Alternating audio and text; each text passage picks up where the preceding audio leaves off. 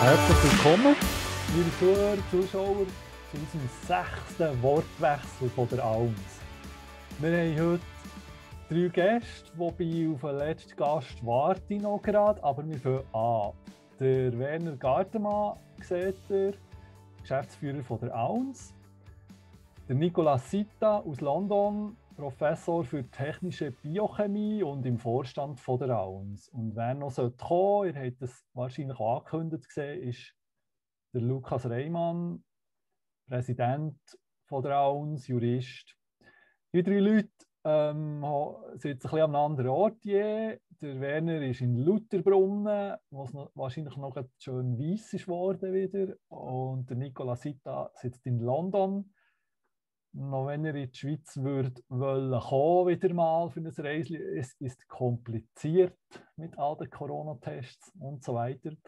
Aber mit Zoom sind wir ja, sind wir ja hier alle zusammen. Ich bin der Tom Meyer, komme aus Belp, ich mache für die AUNS Online-Kommunikation. Wie immer im Wortwechsel könnt ihr auf ein Mail gewisse Fragen, Antworten, Beobachtungen reinmailen. Wir versuchen das aufzunehmen in unserer Diskussion. Wir haben jeweils immer schon ein paar Mails im Vorfeld, wo wir sehen. Und wir möchten so ein bisschen interagieren mit euch. Das Mail heisst wortwechsel.auns.ch. Wortwechsel.auns.ch. So, in London, eben, in London ähm, hat es keinen Schnee, hat es auch, in den letzten zwei, drei Tagen keinen Schnee gegeben, nehme ich an, Nicola. Ja, äh, grüezi miteinander. Äh, freue mich wieder bei euch zu sein. Das ist richtig, der, der Schnee fehlt da. Es ist allerdings ähm, pünktlich auf Ostern hin dann wieder kühl geworden. Also wir haben auch eine Art einen Temperatureinbruch gehabt. Also nicht eine Art, wir hatten auch einen Temperatureinbruch gehabt. Und am Montagmorgen hat es ein paar so etwas gehabt wie Schneeflocken.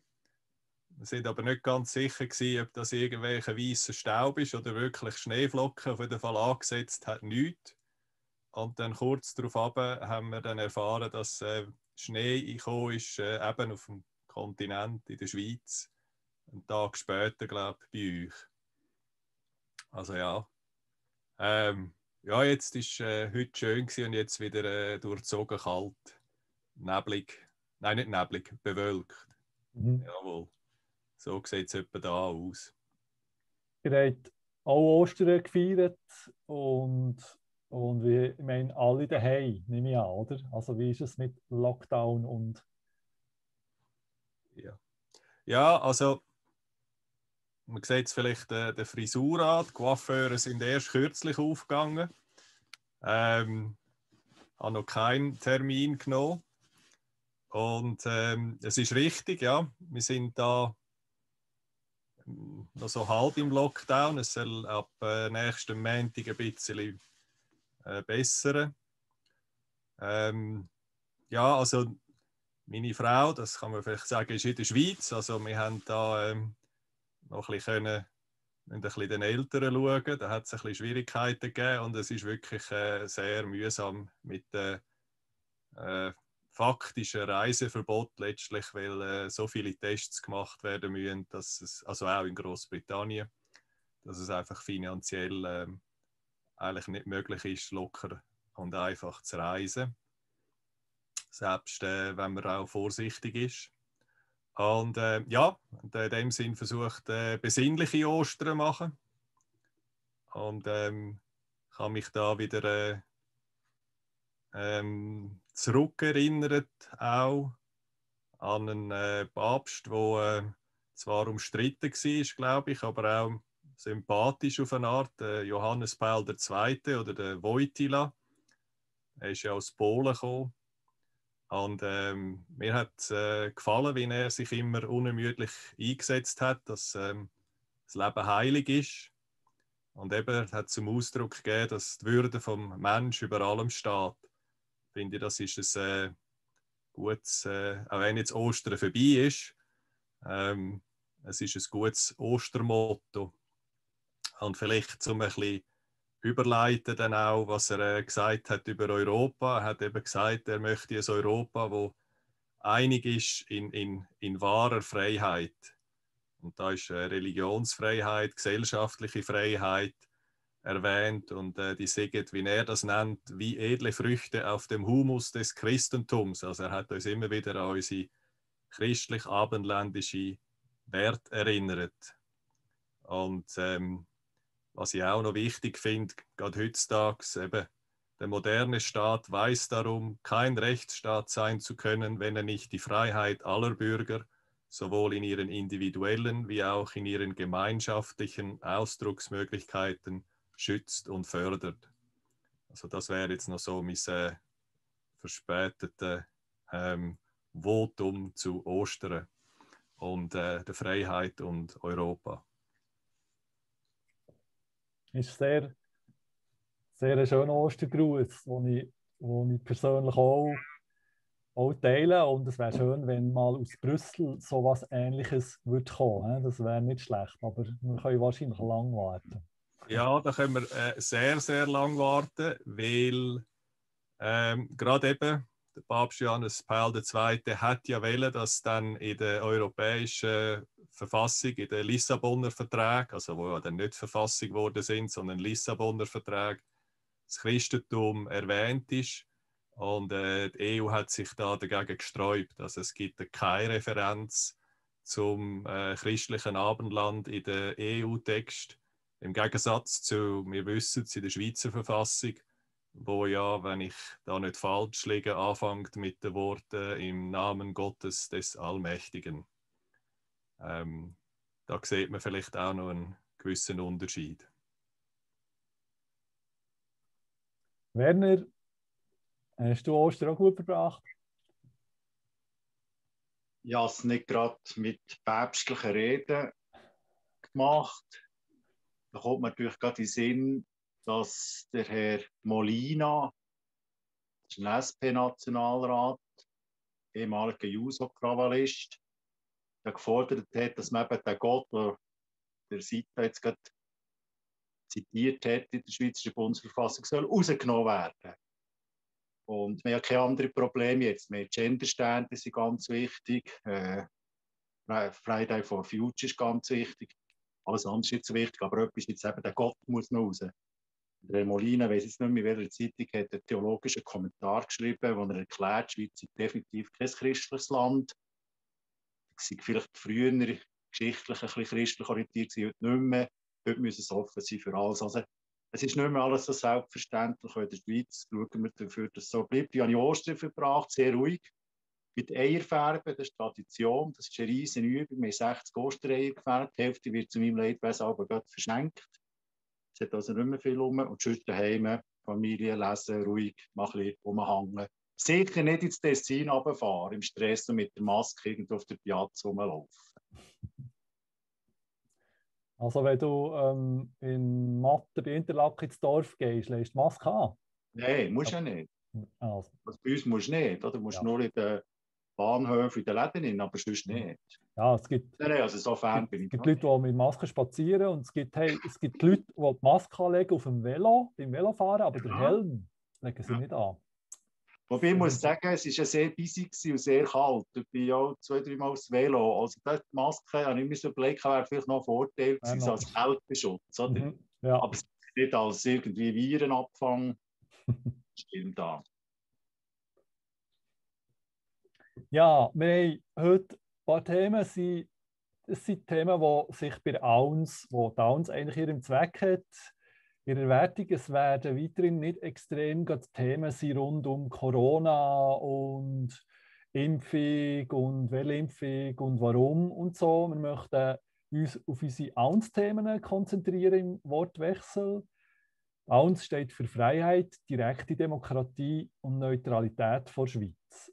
Und das sind die Themen, die wir, auch, wo wir euch auch einladen auf wortwechsel.auns.ch Beobachtungen reinzumailen oder Fragen oder auch, wenn ihr, wenn ihr Bezug wollt nehmen auf etwas, was wir hier diskutieren, einfach frisch drauf los. Wortwechsel at auns.ch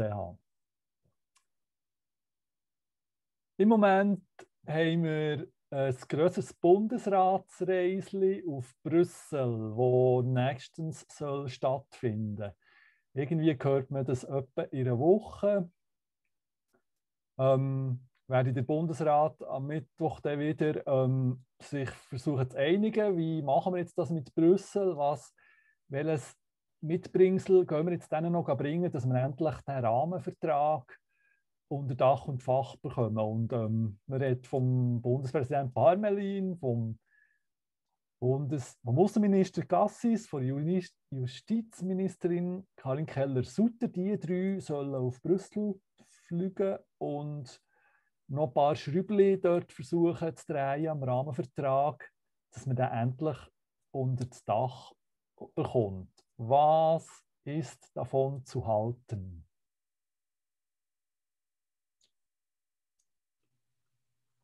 Also wir haben jetzt lange so das Gefühl bekommen, der Rahmenabkommen, das Rahmenabkommen sei tot, es hat keine Chance mehr. Und plötzlich ist jetzt Bewegung gekommen. Wir haben immer ein bisschen gewarnt, wir haben immer gewarnt davon, tot ist das Abkommen erst, wenn wir beim Leichenschmaus können im Apero anstoßen. So weit sind wir noch lange nicht. Es hat jetzt Anzeichen gegeben, der äh, französische Wirtschaftsminister hat in der NZZ ein aufschlussreiches Interview vor kurzem, wo er sagt, die Verhandlungen, wenn man von Verhandlungen reden zwischen der EU und der Schweiz müssen deblockiert werden. Und dort die EU muss auf die Schweiz zukommen. Es müssen auf beiden Seiten Kompromisse gefunden werden, weil beide Seiten brauchen aneinander und beide Seiten profitieren von so einem Rahmenabkommen. Und das zeigt, hier ist Bewegung im Hintergrund. Und wenn das Paris sagt, Paris ist nicht ganz unbedeutend in der EU, er hat schon gesagt, es sei Sache von der EU-Kommission, aber das wissen wir alle, dass Paris dahinter durch kann figurieren, da läuft etwas. Ich darf eins nicht vergessen, die Franzosen sind natürlich unglaublich geschickte Politiker und Diplomaten. Es ist natürlich auch gesagt worden, es wäre super, wenn die Schweiz der Rafale, das Kampfflugzeug, kaufen es ist das beste Angebot für die Schweizer Armee. Man könnte den Technologietransfer ausbauen zwischen Frankreich und der Schweiz. Die heute bereits bestehenden intensive Wirtschaftsbeziehungen intensivieren. Also da läuft etwas. Die Franzosen wollen ihr Flugzeug ausverkaufen und gleichzeitig schauen sie dafür oder sagen sie, wir helfen euch Schweizer, dass wir zu einem Kompromiss kommen beim Rahmenabkommen. Und das macht, das ist bedrohlich. Da ist etwas im Gang.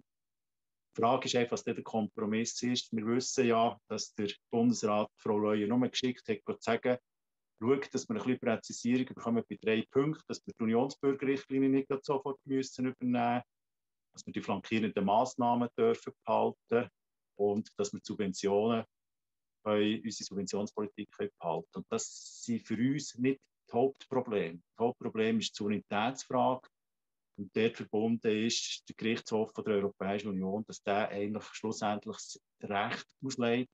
Und das müssen wir nachher übernehmen. Und das wird unsere Demokratie, unsere Mitbestimmung und unsere Gerichtsbarkeit tangieren aufs Schärfste. Über das will man nicht reden. Der Bundesrat hat gesagt, die Unitätsfrage klammern wir aus.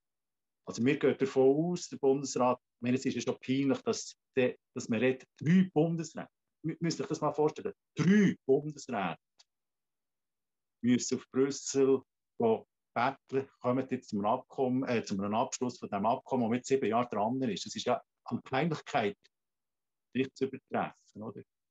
Und zu befürchten ist, dass man heimkommt und sagt, jawohl, der ist uns wieder entgegengekommen bei irgendetwas. Das macht der EU immer so. Das hat man beim Brexit kommt noch ein bisschen entgegen. Dann wird man heimkommen und uns sagen, voilà, wir haben es geschafft, wir haben es durchgesetzt und dann kommt das Rahmenabkommen ins Parlament und dann geht es schnell. Und was man auch noch merkt, die EU-Turbos, also unsere, die uns verrecken die EU sind wahnsinnig aktiv jetzt geworden. Die wollen das EU-Rahmenabkommen, weil sie genau wissen, das ist das Eintrittsticket für nachher für, die, für, die, für einen vollen EU-Beitritt. Also ich möchte einfach unsere Mitglieder und auch Zuhörer, Zuschauer, Zuschauer davon warnen, zu frohlocken zu früh. Das Rahmenabkommen ist überhaupt nicht vom Tisch. Und äh, Darum haben wir jetzt so Fähne gemacht, wo man am Balkon kann man 25 Franken inklusive Versand bei uns kosten, äh, äh, bestellen. Bestellen das Zeug, hängen das Zeug auf, damit man nicht nur immer Konzerninitiativen sieht und CO2-Fahnen sieht, sondern dass man die Fahnen auch sieht. Das Rahmenabkommen ist eine entscheidende Abstimmung. Das ist eine Weichenstellung, das ist eine strategische Weichenstellung für unser Land. Also, du sagst, der, wenn das Rahmenabkommen nachher mal, wenn wir was mal haben, dann gibt es keinen Weg zurück mehr. Das Nein. ist die Einbahnstraße in die EU. Ich möchte dem Herrn Seitz zurückgeben. Jetzt müsst ihr erst mal zur Kenntnis nehmen, der Bundesrat hat es akzeptiert in den Verhandlungen, der Artikel 22 vom Abkommen. Das ist der letzte Artikel vom Abkommen. Dort ist eine super Guillotine-Klausel eingebaut. Die sagt, wenn die Schweiz nicht spurt, wird im schlimmsten Fall das entsprechende Abkommen gekündigt. Zum Beispiel EU verlangt, wir müssen jetzt die Unionsbürgerrichtlinie, die die EU-Bürger gleichstellt wie der Schweizer Bürger, vor allem vor der Sozialversicherung, müsst ihr jetzt übernehmen. Wir landen vor dem EU-Gerichtshof und der EU-Gerichtshof sagt, jawohl, das ist binnenmarktrelevant, das müsst ihr jetzt übernehmen. Die Schweizer sagen ihren Abschied, nein, wollen wir nicht. Dann kann die EU einseitig sagen, wir können Personenfreizügigkeitsabkommen. Wäre ja noch cool. Aber in dem Artikel 22 steht, wenn ein Abkommen, das im Rahmenabkommen unterstellt ist, gekündigt wird, werden alle anderen Abkommen automatisch auch gekündigt und das Rahmenabkommen wird auch gekündigt. Im Moment wären das fünf Abkommen. Fünf Abkommen. Das ist an sich schon Erpressungspotenzial genug.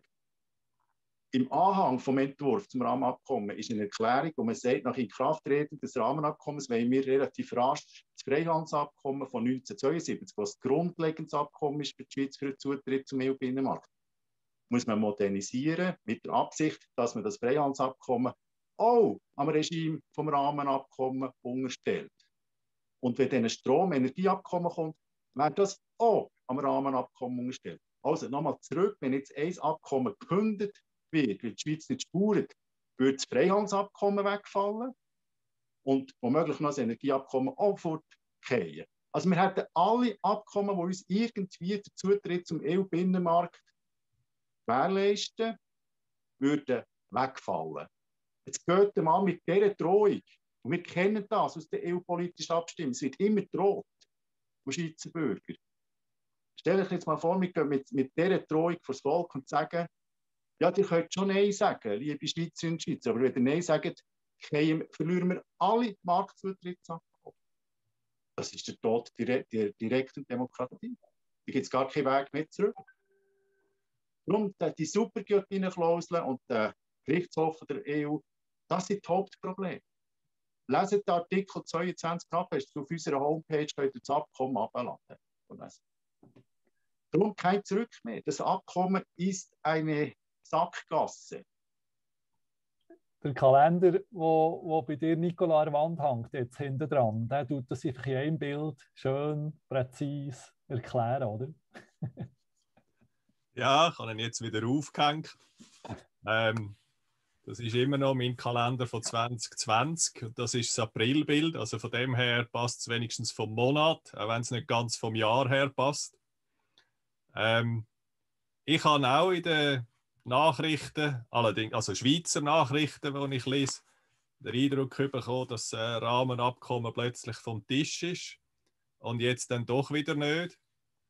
Ähm, ich frage mich natürlich, ob jetzt die, ähm, das ist vielleicht ein eine Frage jetzt von mir in die Schweiz, ob das echt so ist, dass ähm, die EU-Befürworter merken, dass wenn das EU-Rahmenabkommen nicht kommt, ist dann die EU pro, pro EU-Bewegung dann wirklich etwa fertig, dass es quasi ihre letzte Chance ist, um nochmal äh, die Schweiz da zu integrieren in die EU. Ob das echt auch vielleicht jetzt so ein bisschen Durchschlusspanik ist für äh, das Pro-EU-Lager. Was ist da euer Eindruck? Ja, ich würde das unterstützen. Oder? Die, die, das, die, also einerseits wissen Sie, dass das EU-Rahmenabkommen ist ein, Brandbeschleuniger Richtung EU-Beitritt. Auf der anderen Seite, wenn wir das nicht gewinnen, können wir einen wichtigen Integrationsschritt, weil wir übernehmen ein massiv EU-Recht Neues und sogar die Rechtsprechung vom Gerichtshof der EU, äh, können wir einen weiteren massiven Integrationsschritt nicht machen. Und das weiß ich natürlich, weil das hat der damalige Bundesrat Kuschbein schon gesagt, oder? Der Schweizer wird eines Tages erwachen am Morgen und feststellen, hallo, wir sind in der EU. Aber wir haben den Beitritt noch nicht gemacht, weil wir übernehmen so viel, jetzt mit den vorhandenen bilateralen Abkommen, vor allem mit den bilateralen so übernehmen wir so viel EU-Recht. Es ist nicht alles lebensbedrohlich. Ich meine, ob jetzt eine Schraube die EU-Norm hat oder die Schweizer Norm hat, ist ja gleich. Und ob der Traktor 40 statt 30 Jahre fahren oder ob ein WC-Deckel normiert ist, das ist solidaritätspolitisch und unabhängigkeitsmässig keine Frage. Aber wir, kommen immer, wir werden immer umschlungener von dieser Krake. Das ist natürlich eine Taktik vom EU-Befürworter. Sie wir treiben das Land scheibchenweise, weil wir wissen, der EU-Beitritt, direkt EU-Beitritt hat keine Chance beim Volk, bei den Kantonen. Wir Scheibli um Scheibli abschneiden, bis einfach von dieser Salami-Schweiz nichts mehr rum ist und nachher, zack, bumm, treiben wir sie Werner, du hast vorhin den, äh, der Herr Le Maire erwähnt, Wirtschafts- und Finanzminister von Frankreich. Er, hat, er nimmt das Wort Gesamtgleichgewicht ins Maul. Also Gesamtgleichgewicht heißt ja zum Beispiel auf gleicher Augenhöhe, wenn zwei Parteien, aber meint er nicht das Gleiche wie wir? Ich meine, ist das einfach eine, eine Verständnisfrage? Gesamtgleichgewicht, schönes Wort. He? Ja, das ist französische Diplomatensprache, ja. deutsch übersetzt. Oder? Ich meine, er, er, er, er gibt dem so zu verstehen, er wird dem ja fast sympathisch. Oder? Er sagt, oder im Gegensatz zu dem Herr da, das ist der EU-Botschafter in Bern. Der Name ist Petros Mavromichalis. Ist ein Griech. Der hat klar gesagt, die Schweizer spinnt eigentlich.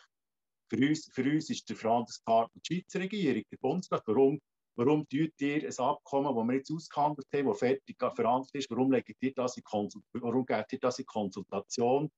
Warum macht ihr eine öffentliche Debatte? Das macht man doch so nicht. Also man sieht dort auch, wie, wie, wie Demokratie funktioniert. Man tut von Regierung zu Regierung Abkommen abschließen. Ich meine, die meisten europäischen Völker haben nicht können darüber abstimmen, ob sie der EU beitreten oder ob sie der Euro wollen. Und aber es klingt irgendwie so verdächtig, sympathisch. Ja, wir schauen jetzt, dass das dort blockiert wird und EU wird, ja, wird auf die Schweiz so zukommen. Wir brauchen unsere beide und beide werden profitieren. Also es ist wie bei den Brexit-Verhandlungen. Zuerst ähm, ist man hart, der Botschafter zu Bern ist hart, der spielt noch die harte Nuss. Und die Franzosen, weil sie natürlich auch noch ein Flugzeug verkaufen, Rüstungsgüter verkaufen, sind jetzt eher ein bisschen, ein bisschen unterwegs. Vielleicht ist das die Balance, ich weiß es nicht. Hey, vom, Alois, vom, Alois, yeah. vom Alois Schranzhofer aus Rickenbach-Sulz haben wir ein Mail bekommen. Er sagt, er sei gegen den Rahmenvertrag, ja, zu einseitig abgefasst. Und er sagt, er sagt sehr klar, die EU ist die größte Diktatur, die Europa je miterleben musste. Und er sagt auch noch, nein, es sei auch ähm, die dümmste Diktatur. Wer für einen solchen Vertrag ist, offenbart seine Bildung und Einstellung zur noch demokratischen Schweiz. Also er sagt, er sagt einfach, ähm, wenn man es, in anderen Worten sagt er, wenn man es durchdenkt, kann man einfach nicht für den Koloss sein namens EU. Und der Herr Schranzhofer, übrigens auch mit der Esti Gassmann von Dübendorf, der sagt uns auch noch einen kleinen Gruß. Merci, Downs, merci an Downs für ihre wichtige Arbeit, die sie macht. Merci. Geben wir gerade die Geschäftsstelle hinterher und den Vorstand. Ja, danke. Mein Gott, ähm, gestern, 7. April, hat es einen Kommentar gegeben in den Takes-Medien, also Tagi, Batz, Bund, BZ ähm, und so weiter. Ähm, es ist wichtig, dass man jetzt ein bisschen über Souveränität diskutiert und zwar ohne Scheuklappen.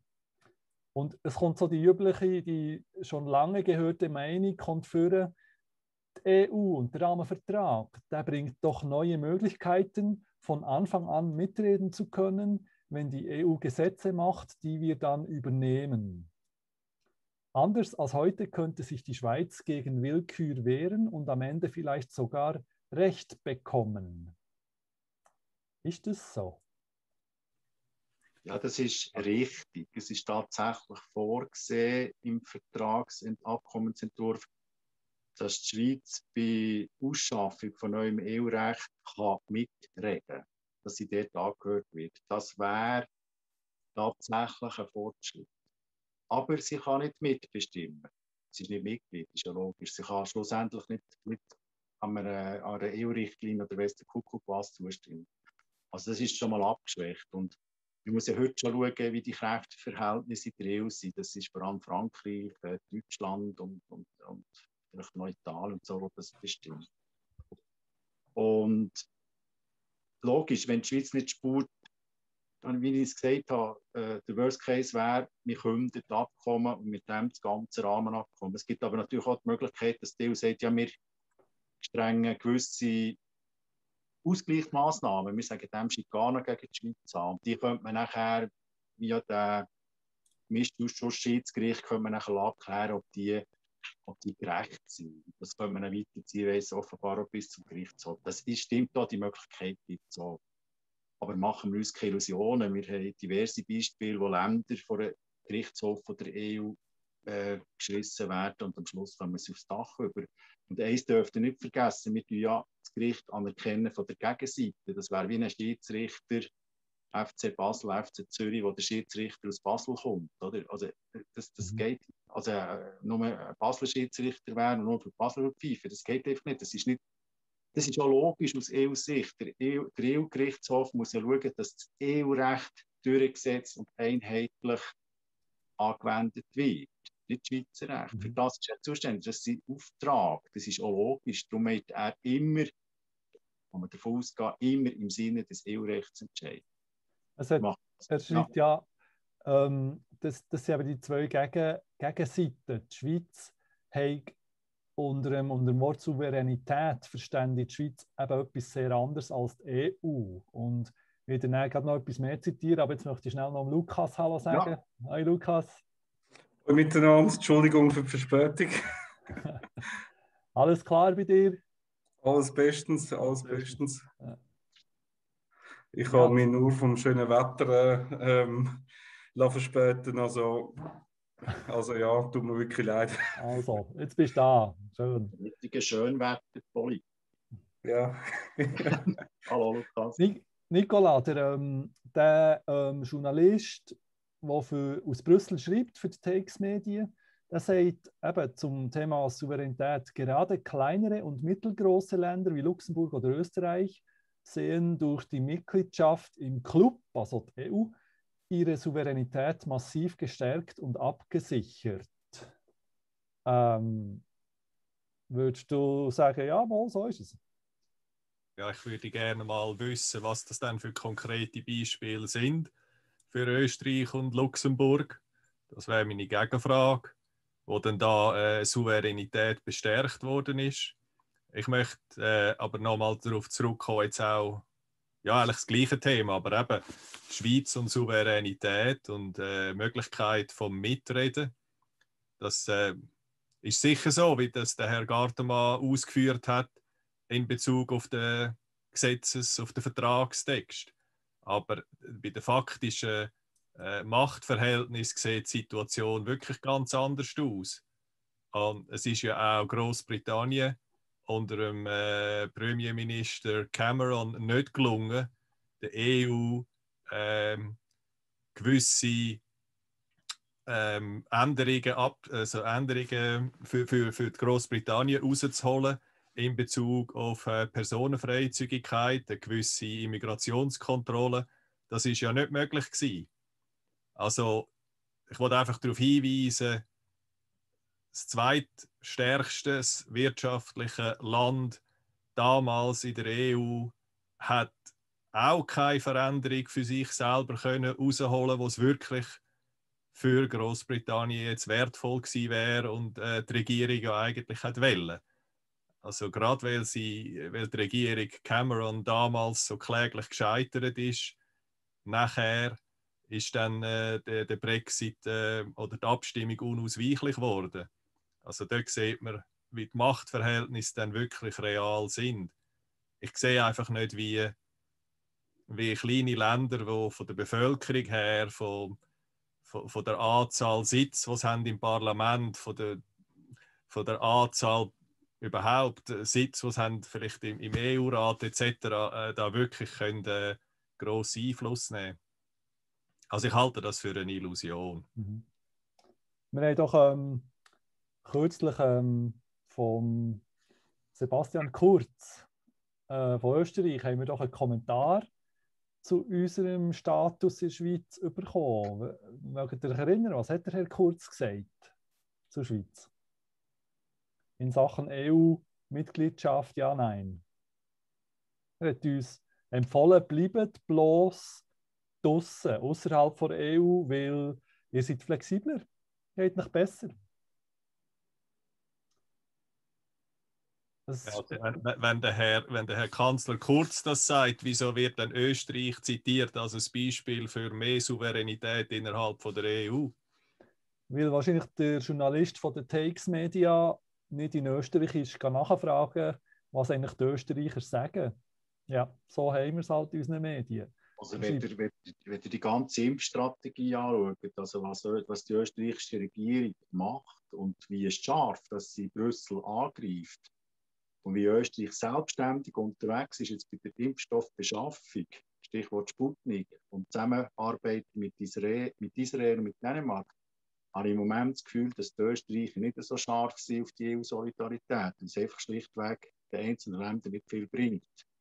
Also dort, das möchte ich mal die Beispiele sehen. Es ist immer die Frage, was man unter Souveränität versteht. Oder? Wenn man französische Geschichte anschaut, ist der Souverän lang der König gewesen.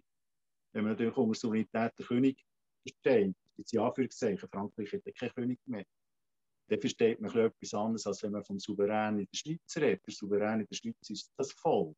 Wir haben direkte Demokratie, wir haben die best ausgebaute direkte Demokratie in Europa, vor allem innerhalb der EU. Und das, ist, das tut mir leid, das ist, nein, es tut mir nicht leid, das ist einfach ein Fakt. Es ist nicht kompatibel mit dem Konstrukt EU, wo nicht einmal eine saubere Gewaltenteilung hat nach Lehrbuch nicht keine saubere Gewaltenteilung hat. Und ich habe es auch schon hier an dieser äh, Ecke gesagt, muss man überlegen, wie Frau von der Leyen gewählt worden ist. Das hat überhaupt nichts mit Demokratie zu tun gehabt. Das waren Machtspiele von Paris. Und da muss mir niemand sagen, der Souverän in der Schweiz, und das sind wir, Bürgerinnen und Bürger mit unseren politischen Freiheitsrechten, Mitbestimmungsrechten, würden da irgendwie etwas gewinnen. Nein, wir verlieren. Klar, die Regierung, Chefbeamte, Staatssekretärinnen, Staatssekretäre, die gewinnen am Macht Einfluss. Oder die können, die können nachher fliegen und eben das dritte, das vierte hoch auf Brüssel wichtig tun. Aber wir, das Volk, gewinnt gar nicht. Lukas, bist du schon mal in Brüssel gewesen? Ja, schon mehrmals, ja. Wie, wie, wie groß ist dort das Parlament? Also das Europaparlament heißt das, oder? Wie viel sitzt dort ungefähr drin? Also nicht genaue Zahl jetzt. Die genaue Zahl wüsste ich jetzt nicht, aber es sind Hunderte, also fast 1000, nicht ganz 1000. Ich glaube 700 und etwas. Wie? Und, we und wenn wir... 100, 700. Ja, jetzt ohne England ein bisschen weniger, glaube ich. ja. Wenn wir als Schweiz drinnen wären, wie viel wären von uns dort, wie viele Nasen wären dort drin?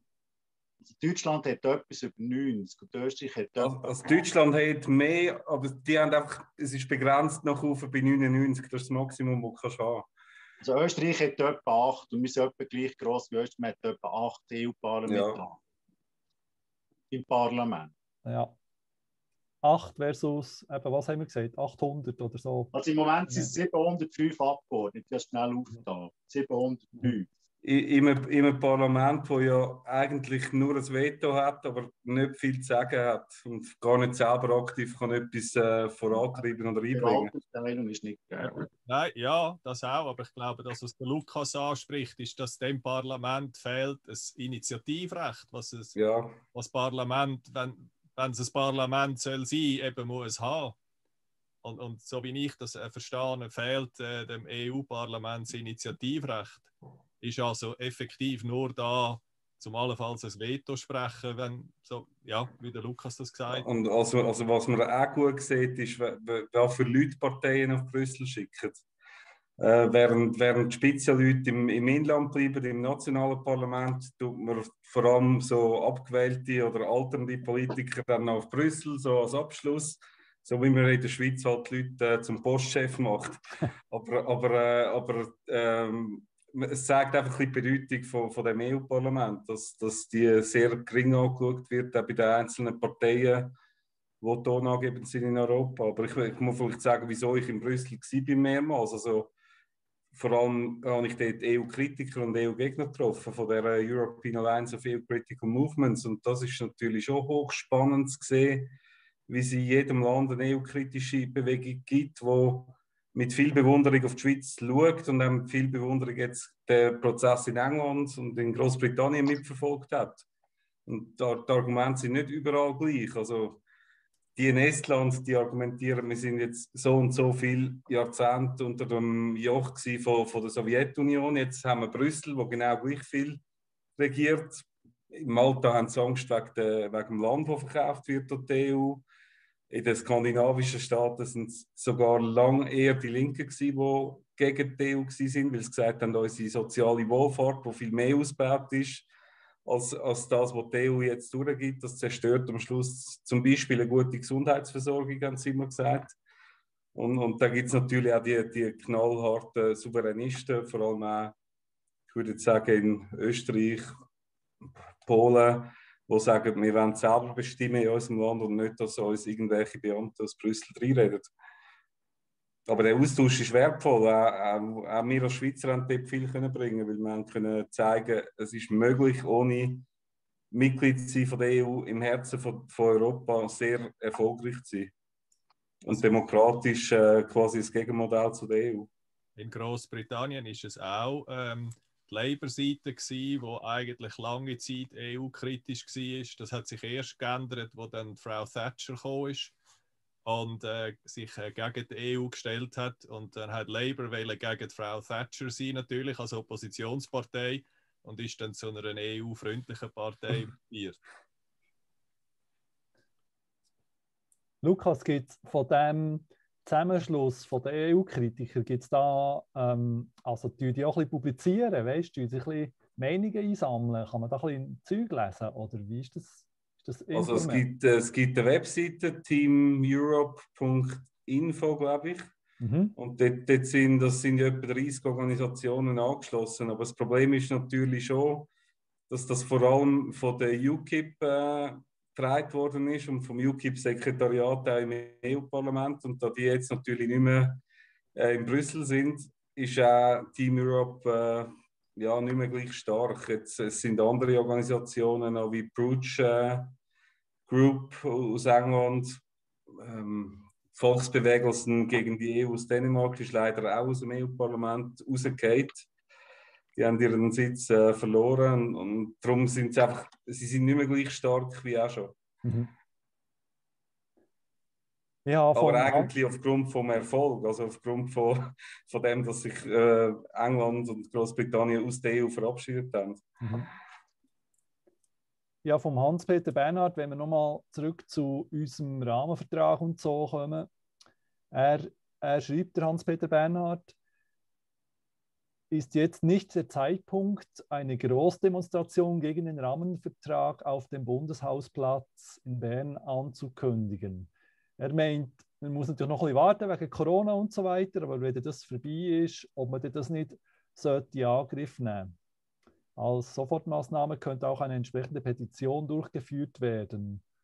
Ähm, ist euch das auch schon in Sinn gekommen im Auensvorstand? Also von Petitionen halte ich gar nichts. Also wenn eine Petition nicht, nicht sehr viele Unterschriften hat, bringt, bringt das gar nicht. Das ist auch nicht verpflichtend für, für die Regierung. Sie muss es selbst zur Kenntnis nehmen. Von Petitionen halte ich nichts. Das Dreibuch, Checklisten für eine Kundgebung auf Bundesplatz sind parat schon lange. Mhm im Vorstand besprochen. Wir haben, wir haben schon äh, äh, einen Kernstab gebildet. Wir wissen, wie das müsste gehen und sind eigentlich parat.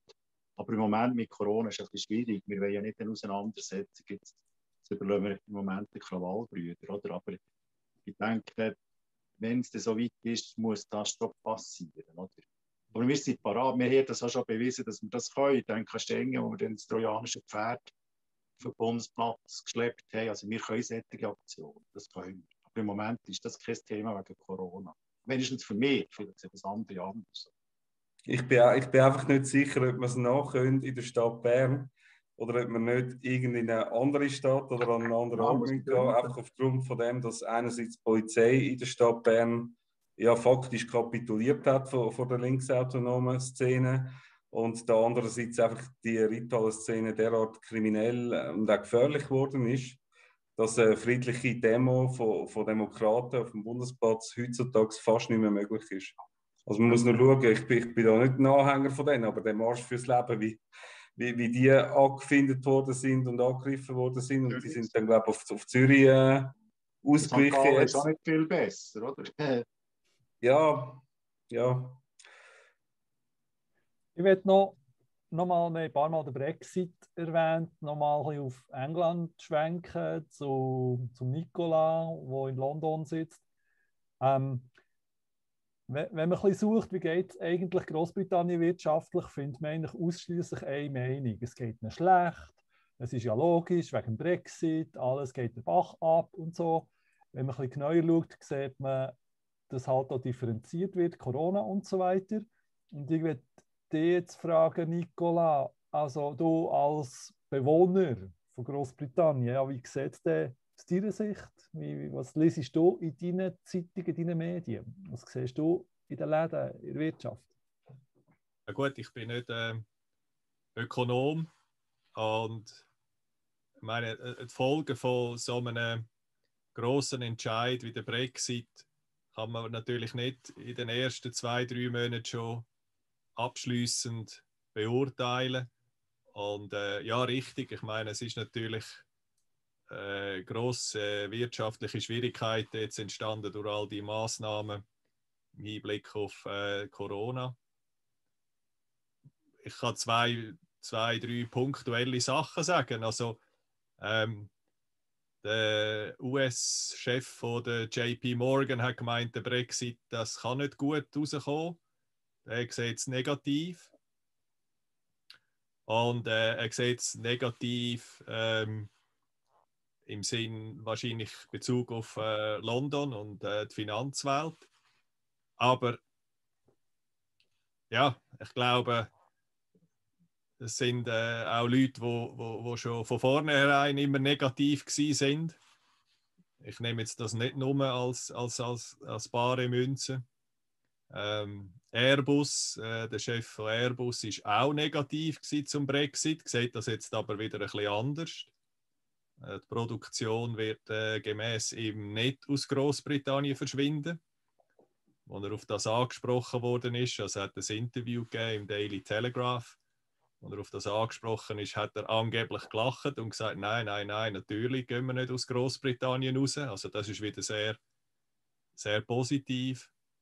Ähm, ich glaube, jetzt habe ich den Namen vergessen, welchen Autohersteller, weil jetzt auch noch keine Werbung machen für ein Auto. Ähm, aber da ist auch eine. Nissan. Wie? Nissan geht da nicht raus. Nein, ich habe jetzt versucht, eben keine Werbung zu machen, aber gut. Okay. Wir sind neutral, wir dürfen es sagen. ja, ja, gut. Also ich glaube auch, es ist Nissan, die haben äh, ihre Produktion wieder eher steigern, äh, also mehr produzieren in Großbritannien. Das habe ich auch gehört. Ähm, ja, also ich meine eben, die Schreckensnachrichten, die sind einfach alle falsch gewesen. Das haben wir auch schon ähm, in unseren Auns-Wortwechsel mehrfach jetzt äh, betont und das ist nach wie vor so. Also ich habe äh, wirklich keine äh, Shortage, wie heißt das? Ich habe keine äh, Einschränkungen da an Lebensmitteln. Ähm, es gibt natürlich Schwierigkeiten, also wir wollen es auch nicht gerade jetzt irgendwie sagen, dass alles äh, rosa ist. Ähm, meine, meine Frau ist in einer, in einer kleinen Bude, die Hundefutter verkauft. Und äh, die haben jetzt nicht mehr können in die EU und auch nicht mehr können in die Schweiz liefern. Das hat mich noch überrascht, weil ich eigentlich gemeint habe, Schweiz und Großbritannien hätten äh, schon längstens äh, Abkommen gemacht, dass da kein äh, Problem gibt, egal wie der Brexit ausfällt. Aber es ist einfach äh, ein grosser Papierkrieg geworden, weil äh, das Essen, das für die Hunde das Essen, das äh, noch vor dem äh, 31. Dezember 2020 ganz okay war für alle Hunde in der Schweiz und in der EU, ist dann ab dem 1. Januar äh, 2021 nicht mehr genug gut gewesen. Und äh, da sind einfach Formulare jetzt, die, wo äh, wahrscheinlich auch nicht alle Zöllner immer gewusst haben, wie das jetzt genau muss ausgefüllt werden, sind jetzt einfach irgendwie zu, ist es zu bürokratisch geworden. Aber wenn, also wenn der Zustand noch aktuell herrscht, dann könnte ich dir eine Telefonnummer von einer St. Galler Firma geben, die aktuell sich kaum kann halten vor Aufträgen äh, aufgrund vom Brexit, weil die sind sich natürlich schon lange gewöhnt, also die ist im Versandhandel tätig und tut zum Beispiel äh, für Firmen, die von Deutschland in die Schweiz liefern, das ganze Zoll und so abwickeln. Und die haben jetzt ganz viele Aufträge erhalten äh, von Firmen, die entweder auf England liefern oder von also Großbritannien oder von Großbritannien wollen die EU liefern, weil, weil dort jetzt halt die gleichen Zollformular und Formalitäten notwendig sind, wie es die Schweiz schon lange kennt. Und, und also, das ist jetzt Schweizer Know-how, das quasi exportiert wird. ja, in Sachen Bürokratieabwicklung wir werden uns ja jetzt über den Wortwechsel nicht unbedingt wirtschaftlich helfen, aber man kann. Aber nein, nein, aber es ist ja schön, wenn die Schweiz profitiert, oder? Also, nein, das ist in der Ordnung. Aber ich glaube, das weist eben auch darauf hin, dass es jetzt äh, Firmen gibt, die das eben sehr gut wissen und dort auch ein bisschen können, äh, äh, Profit schlagen können. Das habe ich jetzt auch nichts dagegen. Aber es weist vielleicht eben ein bisschen darauf hin, dass es ein bisschen mehr Papierkrieg äh, geworden ist. Ähm, äh, das, eben, ich habe es am Anfang gesagt, in den ersten paar Monaten nach so einem Entscheid äh, kann man nicht abschließende äh, Kommentare machen. Und äh, das sind vielleicht jetzt gerade ein bisschen, äh, weiß nicht, Kinderkrankheiten am Anfang. Und die Firma hat sicher noch andere Gründe gehabt, warum sie es dann irgendwie mal hat nicht mehr weiterziehen Also ist sicher auch nicht alles nur Brexit gewesen. Aber ich kann einfach ein bisschen so ja, aus dem Nähkästchen quasi erzählen, was ich so höre, was so läuft. Oder? Ähm, aber äh, nein, also, ich habe jetzt wirklich nie den Eindruck bekommen, dass der Brexit ein grosses Problem würde für uns. Ähm, da sind da die Reiseverbote äh, wegen Corona die größeren Probleme im Moment, ist mein Eindruck. Wenn wir... am, Schluss, am, am Schluss ist der Brexit ja einfach mehr Unabhängigkeit und mehr Macht, also quasi mehr Mittel, Möglichkeiten für, für die Wirtschaft und auch für, für die Politik in, in UK. Und, und was sie daraus machen, das wird sich zeigen. Ich meine, du kannst auch schlechtere Politik machen aus dem, aber ich glaube, es ist nicht so schwierig, zum bessere Politik zu machen als die in Brüssel. Und darum langfristig, glaube ich, wird sich das positiv auswirken. Ja, ja, gut. Also ich habe jetzt nicht wollen, irgendwie da äh, Pessimismus verbreiten. Ähm, ich bin einverstanden. Das ist, äh, ich, ich, ich denke, es ist der bessere Weg für Großbritannien. Und, äh, Journalisten, die wo, wo, wo schwarz malen, sollen einfach noch ein bisschen gedulden und noch ein bisschen warten, bevor sie ihren nächsten Artikel schreiben. Ja, ich weiß einfach nicht ganz genau, woher die Schwarzmalerei auch immer kommt. Und wir haben jetzt nicht Zeit, um auch nochmal über das Thema Nordirland zu reden, aber das ist auch so, das ist auch so Brexit-relevant, schwieriges Thema. Und ich lese da sehr viel, was, was, was über Nordirland und die Problematik erzählt wird. Und es tut mir leid, wenn ich jetzt irgendwie jemandem, äh, jemandem auf die Füße stehe von der Journalistenzunft, aber äh, ich lese einfach sehr häufig Kommentare, wo ich den Eindruck habe, man hat Beispiel Nordirland einfach den 30-seitige äh, Karfreitagsabkommen oder Belfast-Abkommen einfach schlichtweg nicht gelesen. Da mhm. werden Sachen erzählt, da kann ich, da kann ich nicht mehr nachvollziehen. Und ich weiß halt manchmal wirklich nicht, ob da viele halt, weiß es nicht, halt aus dem, aus dem Tagesgeschäft heraus vielleicht nicht Zeit haben, alles genau anzuschauen und, und da so ein paar negative Fakten, die dann halt aufkommen, ähm, zu stark aufnehmen. Also Aber gibt es überhaupt noch Korrespondenten in Nordirland? Ich habe irgendwie das Gefühl, die schreiben vielleicht aus London oder aus Dublin im besten Fall noch. Aber wirklich vor Ort gibt es kaum mehr Journalisten im deutschsprachigen Raum. Ja, das kann sein, ja ja, das kann gut sein. Er bleibt nur noch zu abschreiben, oder? Ja, ja oder halt einfach schreiben, wie, sie, wie, wie es gerade passt, oder? Werner, ähm, du hast einen Gruß vom General Gisa hinter dir. Warum? Gestern, 7. April 1960, ist der General Gisa gestorben, also vor 61 Jahren. Das hat mich dazu bewogen, auch wenn ich Gefahr laufe. Das heisst, ja, der ist wieder typisch alt, so, der Gisa aufhängen, Betongrind, der Redwein. Ich dachte, ich stelle den heute auf. Es hat mir auch ein bisschen Anlass gegeben, Geschichtsbücher zu schauen und bewusst zu werden, in welcher Situation denn die Schweiz war. Wenn man es vergleicht mit der Corona-Betreuung. Und das ist mir schon noch so ein bisschen, ein bisschen eingefahren. Also wenn man Hungerängste hat, was die Aktivdienstgeneration hatte, wir haben das Spiel in daheim gespielt. Das war eine Frage, wann ist der Böck Zürich in Zürichsee gefallen? Die Lösung war während dem Krieg, wo man auf dem Berliplatz Ackerbau betrieben hat, hat man den Böck in den See runtergegangen und ist irgendwie wegen dem Wind runtergefallen. Also man hat dort auf dem also dort, wo der Böck verbrannt wird, dort vor der Oper, hat man Herdöpfel angeholt, mit Hungersängsten gehabt. Mit einem Terrorregime, gehabt, das Millionen von Leuten umgebracht hat, mit einer hochgerüsteten Armee an der Grenze. Gehabt. Unsere Armee war nicht gut gerüstet. Und dieser Mann hier im Hintergrund hat es fertiggebracht, das Vertrauen in die Behörden wiederherzustellen. Er hat das hergebracht. Und es sind Tausende von Schweizer Männern dann zumal an Grenzen gehockt. Sie sind alle im Redwig, stimmt nicht. Sie sind an Grenzen gehockt und haben gewusst, kommt ein hochgerüsteter Gegner kann kommen. Todesangst. Die Frau hat daheim die Wirtschaft geschleppert. Und der Mann hat das fertig gebracht und äh, er hat schon manchmal geschrieben, so ein bisschen Social Media Posts und so. Eigentlich bräuchte wir in der heutigen Zeit unbedingt einen Corona-General im Schlage eines Gisons. Ich denke, das Vertrauen in die Behörden ist nicht mehr so gross. Also, wenn ich es bei mir nicht mehr, also wenn ich so die BAG-Frauen anschaue, sind es nicht gegen Frauen. Wenn man sonst böse Mail schickt, ist mir gleich, oder? Da habe ich das Vertrauen nicht so. Darum habe ich nicht heute aufgehängt, also aufgehängt, aufgestellt. Entschuldigung. Es tut immer ein bisschen gut, vor allem für uns Schweizer, da sind wir schwach. Wir sollten immer ein bisschen unsere Geschichte zurückschauen, ein bisschen schauen, was in der Geschichte der Schweiz passiert ist. Und dann gehen vielleicht Lichter aus.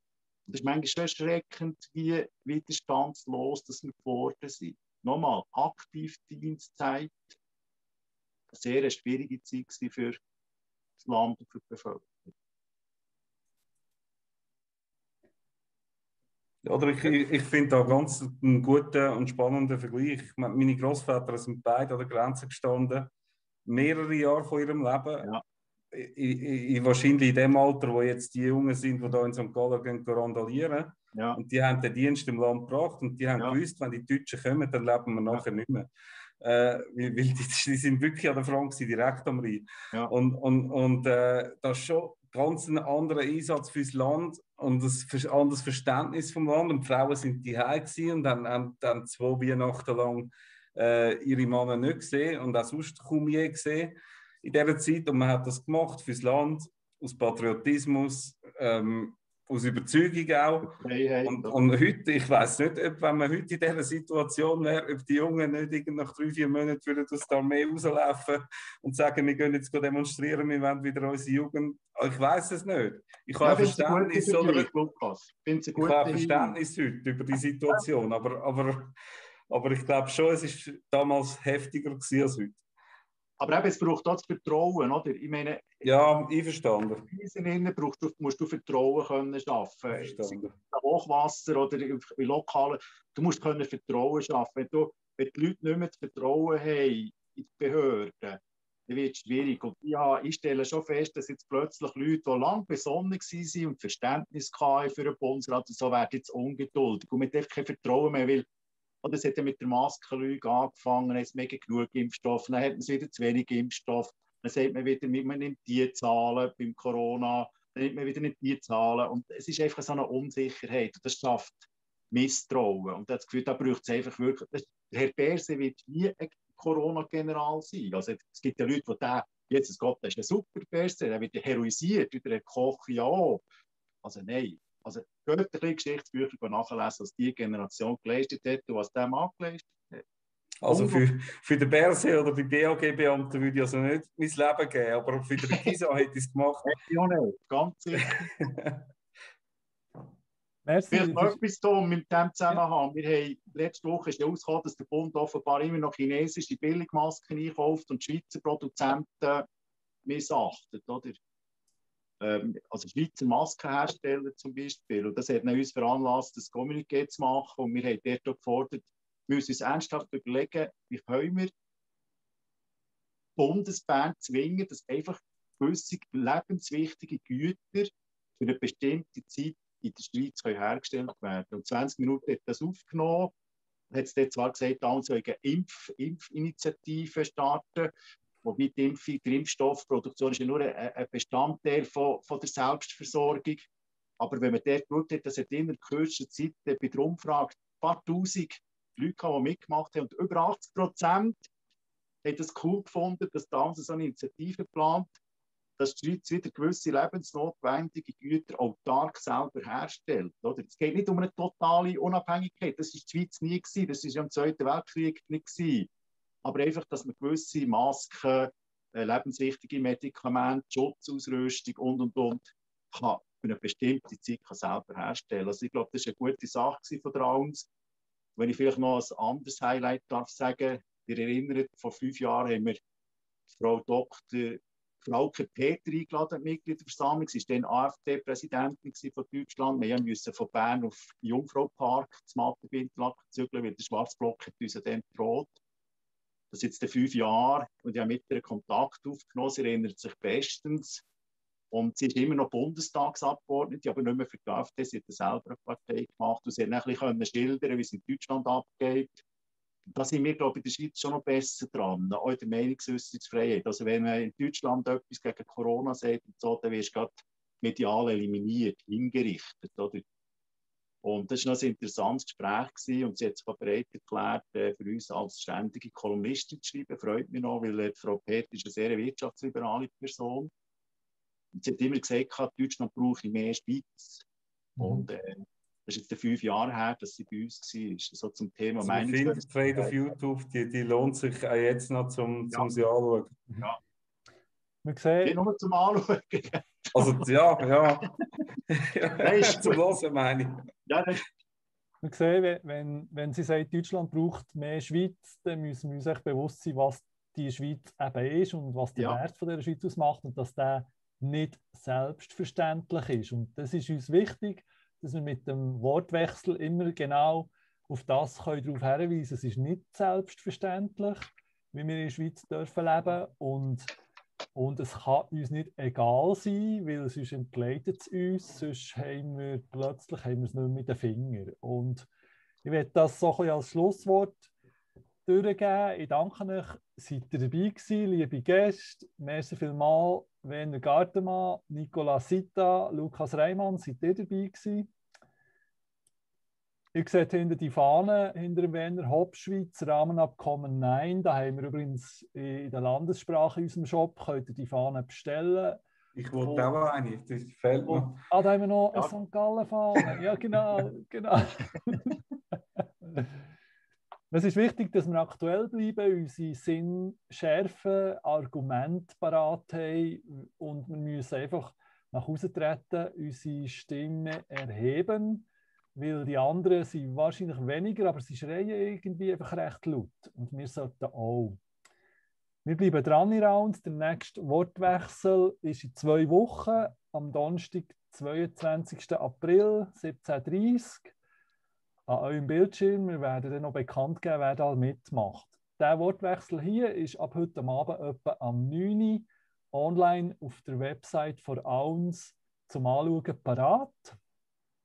Und ich wünsche euch jetzt allen einen guten Abschluss von dieser Woche. Also wir haben noch einen Tag vor uns, aber nachher einen guten Abschluss. Schön, seid ihr da gewesen und auf Wiedersehen. Merci, Tom. Adi miteinander. Merci. Merci.